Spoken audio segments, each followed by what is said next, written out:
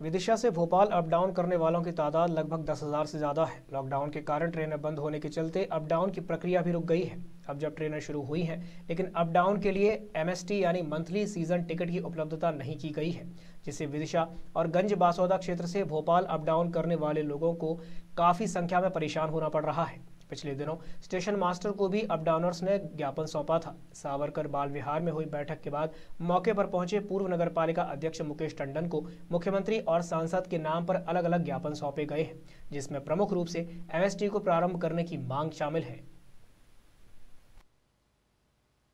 विदिशा अपडाउनर संघ एसोसिएशन की ओर से यहाँ पर एक कार्यक्रम माननीय सांसद महोदय जी के लिए और माननीय मुख्यमंत्री जी के लिए और हमारे पूर्व नगर पालिका अध्यक्ष माननीय मुकेश टंडन जी के लिए दिया ज्ञापन देने के लिए यहाँ पर कार्यक्रम किया गया था। और दूसरा, यह कोई सामाजिक या राजनीतिक कार्यक्रम नहीं था। यहाँ पर सिर्फ़ हमारे संगठन का एक दूसरे से परिचय सम्मेलन भी था। जिससे हम लोग एक दूसरे के लिए परिचय कर आज पूर्व नगर पालिका अध्यक्ष आए थे यहाँ पर क्या आश्वासन दे गए उन्होंने बताया कि वे भी एक समय में बहुत पहले अप डाउन करते थे वे भी अप डाउनर रहे हैं और उन्हें अप डाउन की पीड़ा बहुत अच्छे से पता है और उन्होंने अपना पूर्ण सहयोग और पूरा आश्वासन दिया है कि फरवरी माह तक लगभग लगभग प्रयास करेंगे कि हमारा फिर से पुनः जिस तरीके से अप डाउन होता था वैसा हो सके। और एम चालू हो सके